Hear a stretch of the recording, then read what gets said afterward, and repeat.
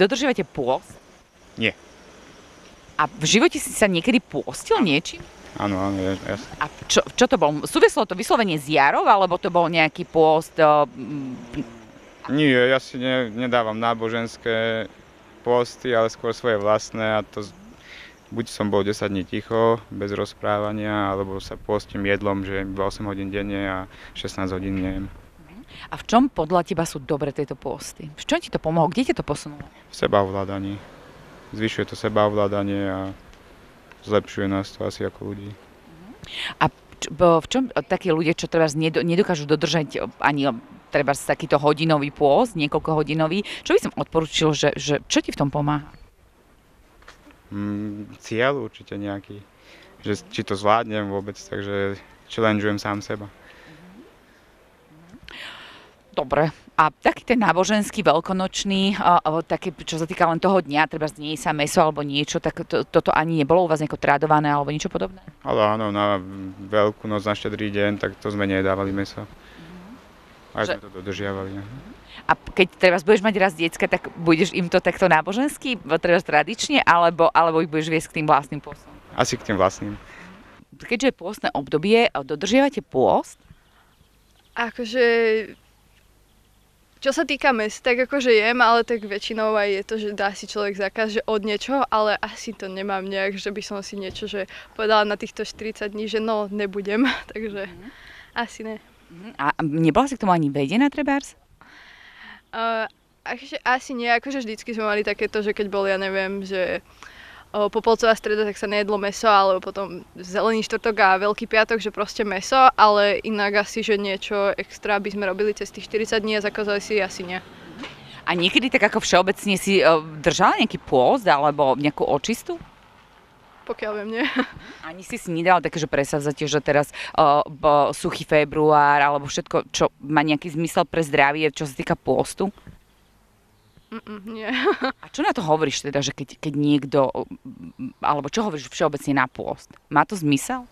Tak akože keď to tí ľudia dodržia a nesnažia sa to nejak akože okašľať, tak ako asi áno pre nich, že keď to vidia zmysel, tak nech tom pokračujú, ale nech to není niečo nezdravé, no.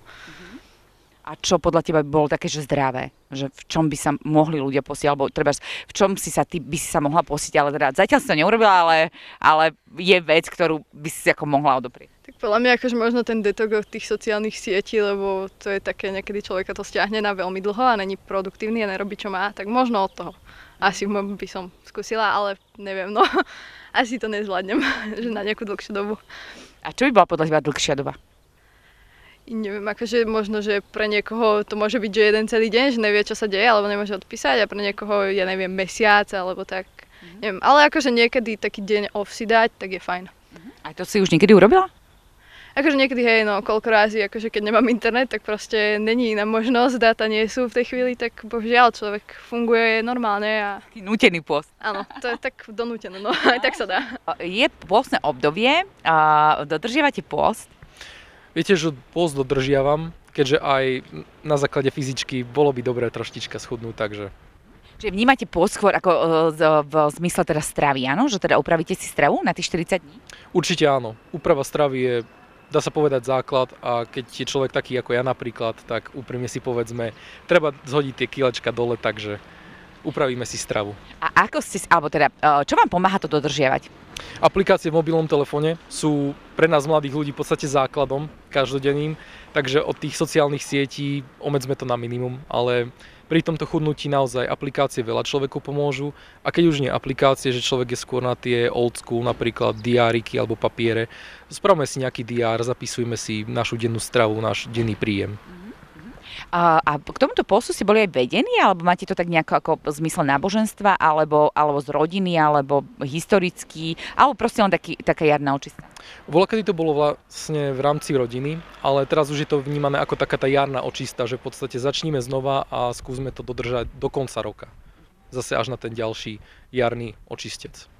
Čiže a je to pre vás také, že tá symbolika tej jary, že to znovu teda všetko začína kvitnúť a tak všetko sa prebudza, že, že prebudiť aj teda to, to lepšie, zdravšie ja? Dá sa povedať, že áno, lebo naozaj symbolika jary spočíva v tom, že všetko sa prebudza, takže mali by sme sa aj my prebudiť znova. A počas roka teda by si ľudia nemuseli tak dávať poz, že v- nemusí to byť práve to jedlo, že treba práve od tých sociálnych sietí alebo od niečoho si tak postiť, že by sa to tak mohlo preferovať? Každý by sa mal zamyslieť nad tým, čo vlastne potrebuje, takže je to v rámci individuality človeka. Ale teda aj, myslíte, že aj v inom období ako práve v tom jarnom? Či toto toto tak podporuje? Určite aj v inom ako jarnom období je dobré si takúto očistu dávať, čiže očista tela. Je to dobré si dať v každom ročnom období. Nezáleží, či je to jar. A robíte to kvôli sebe, akoby primárne, alebo je to aj obeta akoby tomu, tomu bohu alebo tomu náboženstvu?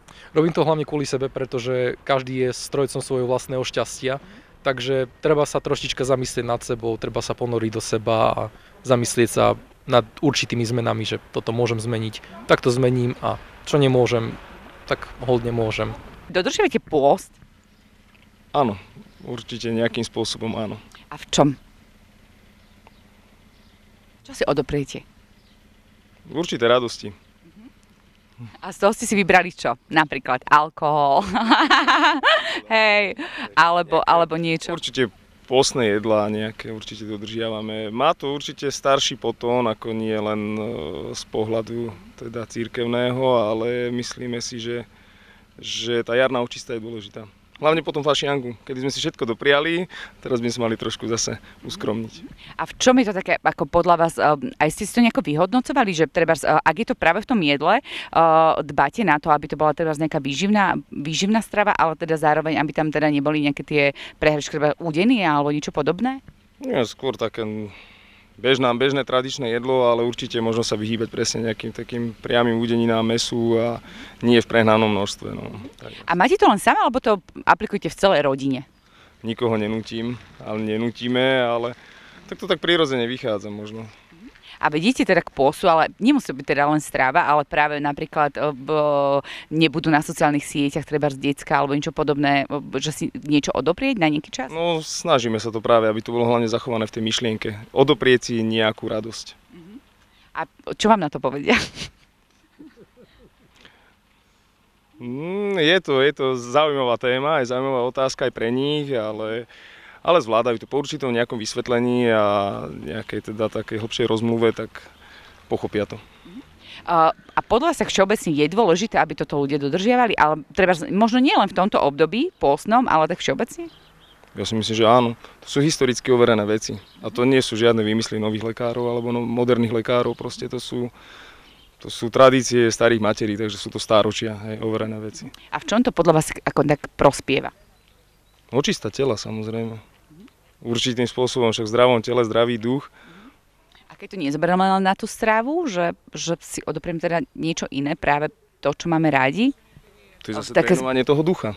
Že jednoducho vedieť si aj niečo odoprieť, alebo uskromniť sa. Skôr by som to myslel asi do, tej, do tejto... Do to, skúška pevnej vôle, no. Pekne povedané. super.